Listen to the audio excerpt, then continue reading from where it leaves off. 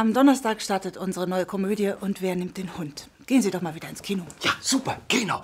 Da müssen Sie nicht ständig das Gequatsche von Ihrem Partner anhören. Das Wichtigste in einer Beziehung ist Kommunikation. Haben Sie kommuniziert, miteinander geredet? Fast nie. Permanent.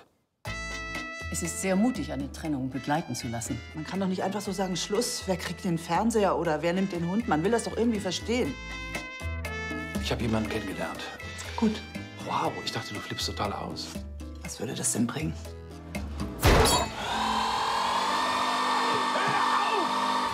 Was genau zieht Sie an bei dieser Frau? Muschi. Diese Frau ist der absolute Wahnsinn. Laura, der ist 30 Jahre älter als du. Gicht, Arthritis, Demenz. Ich fühle mich so, wie wenn ich den ganzen Tag unter Strom stehe. Sie ist nur mal 30 Jahre jünger als du. Er hat jetzt ein Brot im Brotschrank, das jeden Tag mehr schimmelt. Die ersten vier, fünf Jahre, die wir hatten, waren wundervoll. Dann wurde sie immer mehr zu einer Mischung aus Ehefrau, Hausfrau und Mutter. Was soll ich denn dazu jetzt sagen? Entschuldigung, dass ich unsere Kinder großgezogen habe, oder wie? Und wenn ich mal sterbe, dann werde ich nie irgendwas gemacht haben, was wahrhaftig außergewöhnlich war. Was hindert Sie?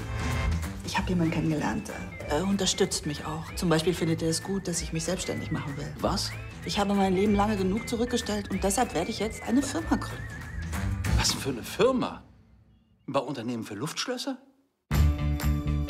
Wieso sind die bei uns am Italiener? Ich glaube, da brennt ein Auto. Je länger wir zusammen waren, erzählte, was ich wollte, irgendwie weniger, als was er wollte. Ich habe unsere Kinder geweckelt. Ich habe endlose Elternabend über mich ergehen lassen. Ich habe... Hi. Einen Bandscheibenvorfall. Sie sind ja auch im richtigen Alter.